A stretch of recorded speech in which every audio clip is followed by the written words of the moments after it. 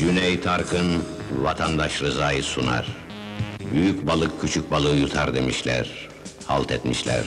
Sen balık değilsin Rıza. Vatandaş Rıza her vatandaş gibi sıradan bir insandı. Günlük yaşamı karısı, çocuğu, evi ve oraya götüreceği bir ekmek olan küçük bir vatandaş. Ve büyük vatandaşlar, büyük insanlar. Eğer bir gün vatandaş Rıza, büyük vatandaşların zulümlerini hoş görmez ve onlara katılmazsa ne olur? Kendi küçük gücünün farkına varırsa ve artık alın yazısının çizilmesini büyük vatandaşlara bırakmazsa ne olur? Aynı şeyi niçin yapmadınız kocalarınıza? Niçin yalan söylettiniz mahkemede?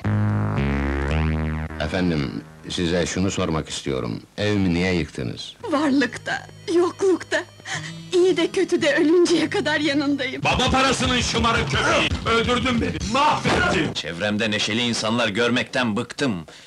Biraz da acı çeken insanlar görmek istedim. Yalnız öğrenmek istiyorum. İnsanları nasıl bu hale getirebiliyorsunuz? Vatandaş Rıza'nın hakkını aramak için giriştiği kavga giderek bir destan oluşturdu. Neden direniyorsun? Ne istiyorsun? Oğlun mahkemeye çıkacak, ben suçluyum diyecek. Yaşamaksa, ölmekse, ne olacaksa üçümüze olsun. Beni babamdan kimse ayıramaz.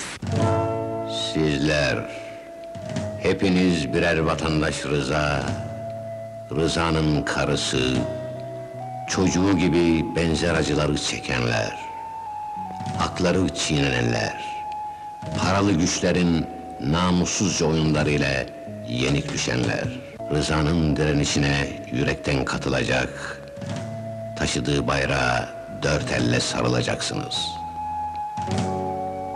Paralı güçlerle sade vatandaşın kavgası kimin zaferiyle bitecek? Banka kredilerin nasıl verilmiş? Demir ve çimentoda bana niçin öncelik tanınmış? Bunların hepsi servet düşmanı, hepsi bozguncu!